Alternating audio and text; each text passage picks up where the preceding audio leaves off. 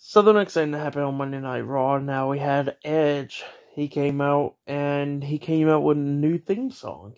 So yeah, he got rid of uh, you know his old theme song, and uh, well his new theme song, you know, in the beginning is where he talks um in the in the like the beginning of the theme song where he goes like, "Well, you thought you know me or whatever," and uh, then it plays the song. Uh, but yeah he gets a new theme song, and I can't understand why they change it. But man, I'm gonna really miss his old theme song now. Like the song was too damn good. but yeah, they changed his theme song, and like I said, I understand because like when he will come out to the other song, uh, fans is gonna automatically cheer for him. Like they ain't gonna boo Mel.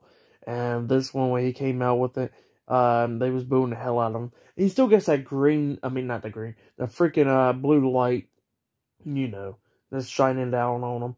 Uh, you know, uh, like how Sin Cara used to have, like how I was talking about from last week on Raw, he still gets that blue light, and he comes out, and, uh, you know, he starts talking in the ring, and was talking about AJ Styles, how, uh, and he was talking about how he, how he needed the best AJ Styles as possible, the face at WrestleMania, and he said he done some changing as well.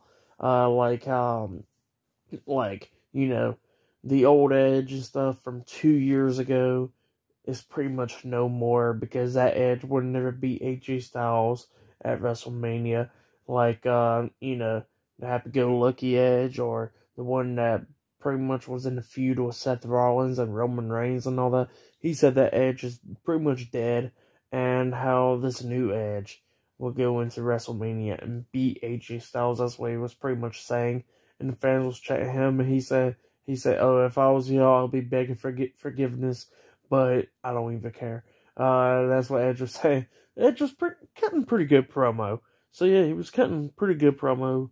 Uh, but yeah, uh, that's what happened, and uh, pretty much he's gonna be judging AJ Styles at WrestleMania. That's what he was saying. But yep, that's what happened on Monday Night Raw. Pretty good promo from Edge. But like I said, I hate that they changed his uh his uh old song now. So yeah, his old song of course will be always iconic. It was great and everything. Just that song alone needs to go to the Hall of Fame. That's what I got to say about that. And speaking about the Hall of Fame, which I didn't I actually didn't remember this until I literally just said it uh, freaking uh, Queen so- Queen Sharmell will be entering the Hall of Fame this year. So yeah, uh, that was news from earlier, and she'll be getting inducted by Booker T. So yeah, uh, she'll be the third person inducted into this year's Hall of Fame. So yeah, great news right there.